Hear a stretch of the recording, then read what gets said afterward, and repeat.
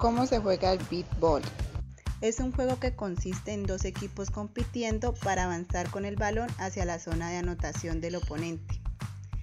Los jugadores pueden correr, hacer pases laterales o hacia atrás y tocar con sus dos manos al oponente para detenerlo.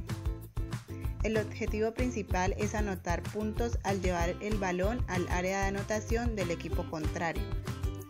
Las reglas de este juego son, primera, los pases siempre se dan hacia atrás o los laterales, nunca hacia adelante.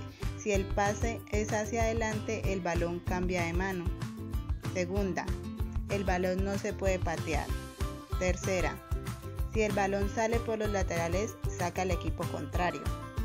Cuarta, la persona solo se detiene si es tocada con las dos manos. Si la tocan solo con una, puede seguir avanzando. Quinta, después de ser tocada tres veces a un oponente cualquiera del equipo contrario, el balón cambiará de mano. Sexta y última, si es tocado con las dos manos, tiene que quedarse en ese puesto y pasar el balón desde ahí.